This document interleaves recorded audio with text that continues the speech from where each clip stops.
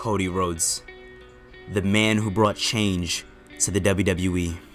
A champion known as Kevin Owens rose upon the WWE and dominated as we knew as the WWE main event division. Cody Rhodes got called out by Kevin Owens, and Kevin Owens said simply, Listen, I want the best, and the so called best is Cody Rhodes. Rhodes made that debut at WrestleMania and made his name. Oh my god! We haven't seen this maneuver in a while! Muscle Buster by Rhodes! One, two, three, and we have a new champion!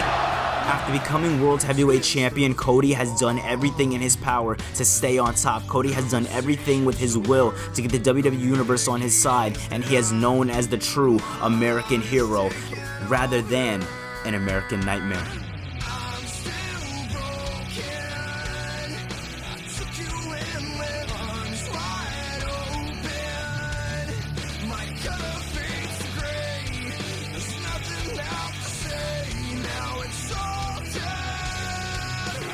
Wait, now there's a referee, come on!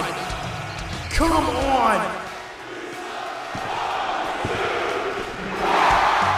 In the craziest way possible! In the most broken fashion! Finn Balor! Finn Balor punched his ticket to SummerSlam! With Finn Balor rising to the top once again, looking to reclaim World Heavyweight Championship gold, the big question on everybody's mind was, well, what can Finn Balor do? You know what, Cody?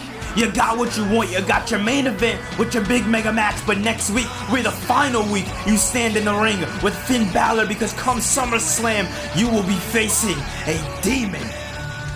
Can Balor make it? Can Balor fight and maintain his momentum going into the SummerSlam pay per view? And on the other hand, we had an American Nightmare.